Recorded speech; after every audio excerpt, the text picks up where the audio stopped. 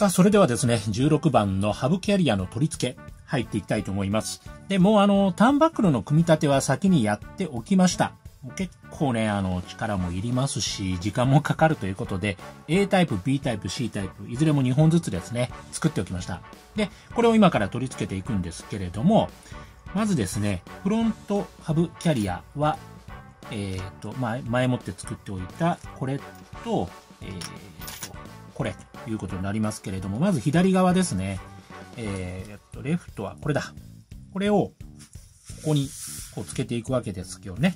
で、えっ、と、番号で言うと1。まずこれを、ここに入れる。ですね。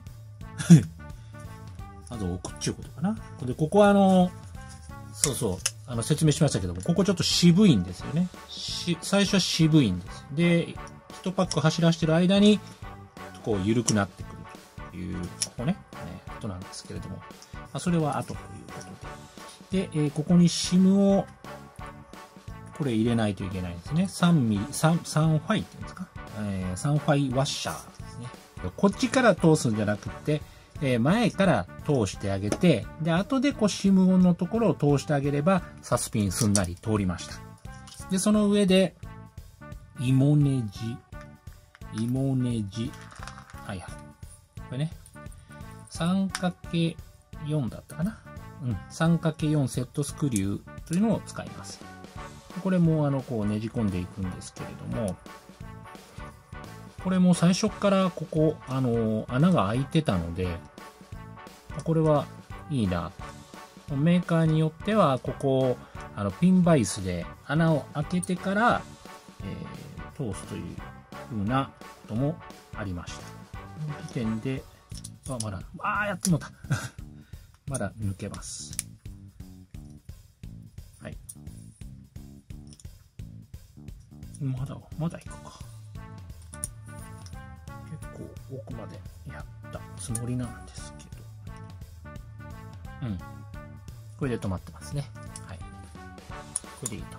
まあ、こんな感じで、反対側もつけますね。えー、続いてはですね、ここのキングピンボーボール？キングピンボール？やね、えこれを取り付けていくんですけれども、内側が短い方、外側が長い方を使うんですね。しかもスペーサーの幅も違う間違わないように。まず、内側は、えー、っと、ロッドエンドボールの M サイズ。これですね。これに、えー、1.5mm のアルミスペーサー。これです。これを入れて、で、えー、っと、バルクヘッドの外側ですね。外側につける。はい。こちら、反対側も M サイズのものに 1.5mm のスペーサーをかまして、で、外側につける。はい。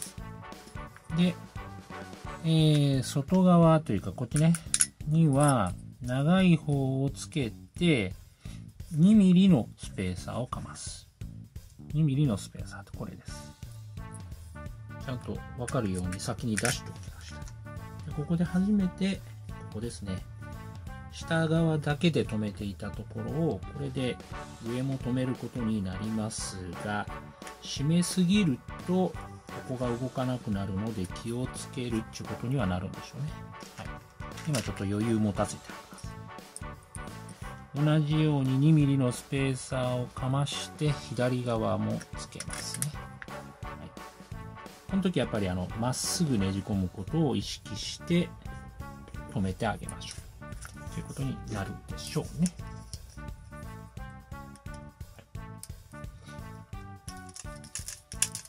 で、えー、これで右と左がそれぞれつきましたので、ちなみにもうちょっと強く締めるとどうなるかというと、大丈夫か。さすが横。どこまでも行くと多分きつく、あ、ならないね。きつく締めても、うん。あ、硬くならないわ。これはいいですね。いいですね、いいですね。で、こちらも閉めて、はい。硬くならないので、あ、いいですね。はい、OK です。で、これで、えっ、ー、と、A ですから、一番長いタイプここ、15.8ミリ、間ね。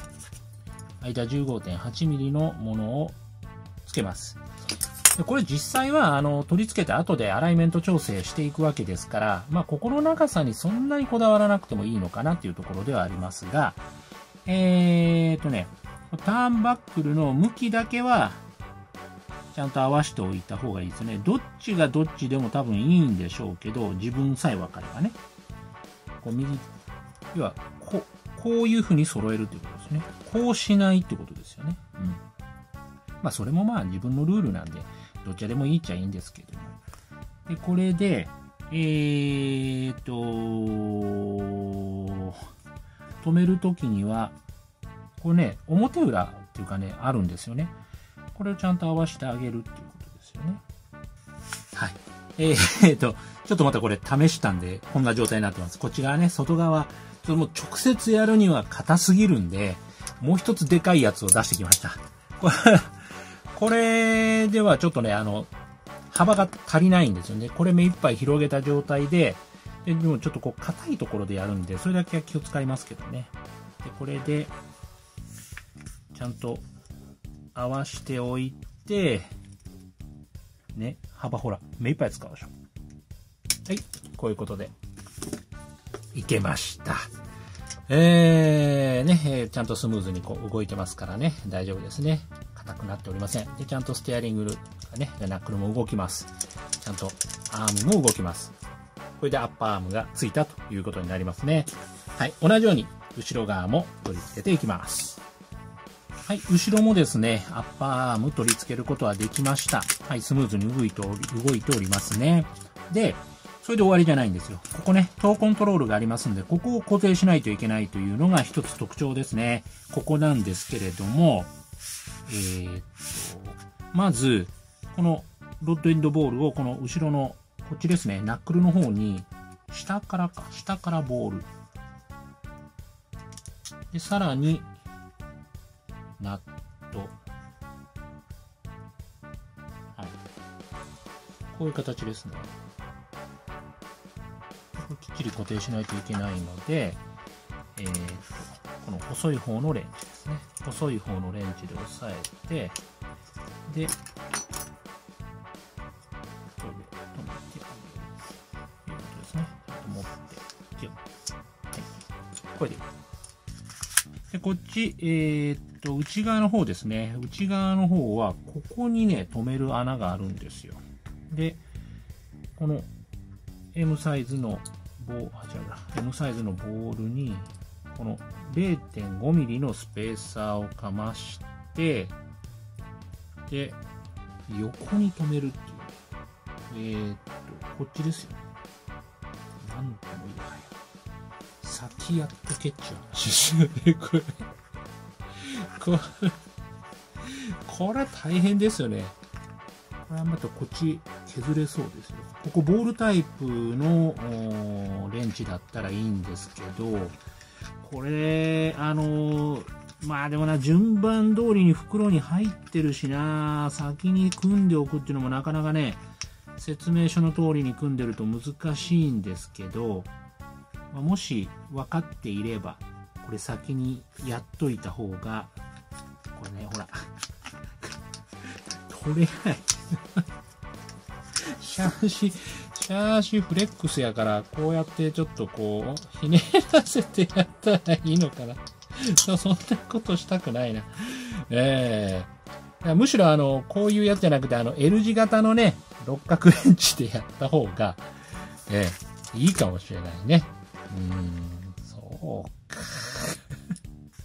これ一応両方ボールついたんで、この状態でこれですね。えっ、ー、と、一番短い、ここ 12.4mm にする C タイプ。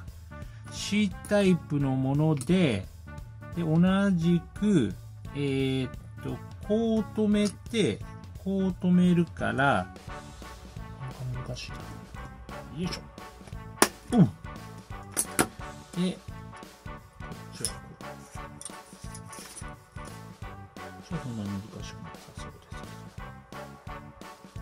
よはいつきましたトーコントロールえー、ここですね、ステアリングロッド、ベルクランクの組み立てということで、またターンバックルがありましたので、これは先に作っておきました。で、さらにこのステアリングのところですね、サーボホーン。もうこれもあの、ここ、えー、エンドを取り付けて、で、こっち側ですね、センターリンク。ここにもボール3つ先に組み込んでおきました。ちょっとだけやっておきました。で、えー、これをさらに組み込んでいくんですけれども、えー、こういう形で OK だと思います。このね、ステアリングできました。でこれで OK なので、え、ー、と、ベアリング入れるんですけど、ここに SIM を入れないといけないんですね。上か。上に、この SIM を入れる。上？よね。850ベアリング。はい。こういうことですね。はい、できましたよ。で、これをつける前に、これですね。ステアリングのスペーサーですね。アルミスペーサー。じゃないや、ベベル、ベルクランクポストっていうのをつける、これですね。ここに 1mm のアルミスペーサーをかます。はい、かます。で止めるのは 3×6 の 3×6 のサラビス。で、えー、っと、3つある穴の、これか。ここですね。はい。よいしょ。に、スペーサー入れて、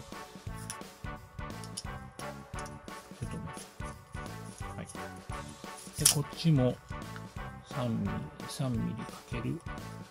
6、3×6。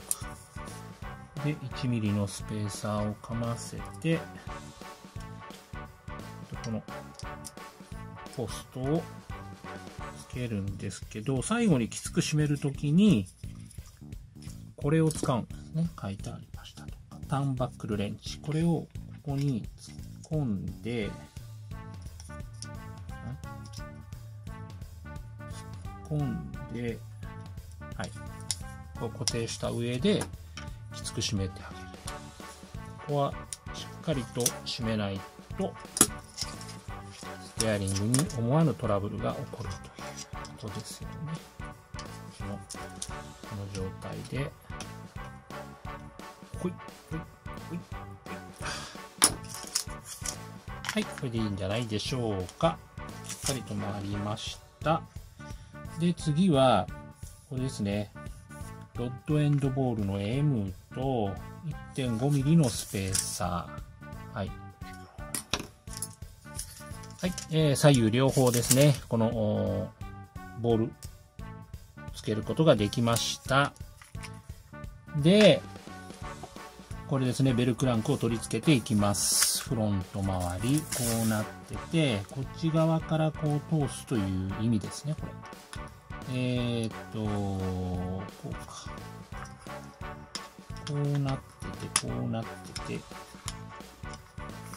うなってて、はい。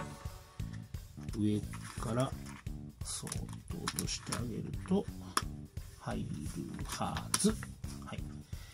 で、3×6 のボタンヘッドがない。そうか、ここか。ここ、このページで使用する。ここだ。ものすごいフェイントですね。こ、こっち側じゃなかった。よかった。まあ、あの、まだ 3×6 はよーくあります。これで特に SIM とかかますことなくもう直接ですね。これ止まるんだ。へー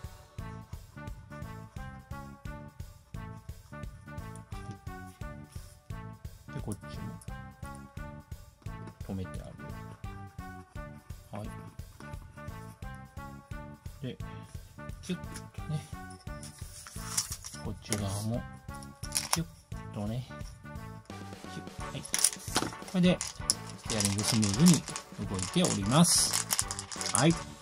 で、えー、はめ込むとなっておりますので、さっきのところにはめ込むんですが、これ向き逆になってるぞと。どっち向きこれ。どっちが正しい？うん。まあ、26ですね。じゃこれで、パチコンと。はめますよ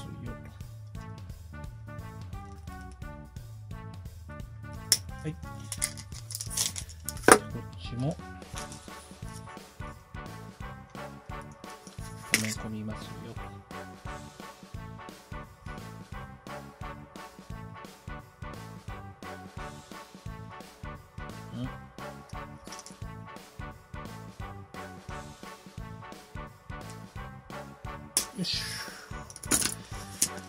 はい。えー、来ましたね。だいぶ来ましたね、シャーシ。次ね、メカ積みになってくるんですよ、サーボ。サーボ取り付けることになるんですけど、今ちょっとね、サーボの準備がまだできてないんで、これひとまず置いといて、先行っちゃおうかな。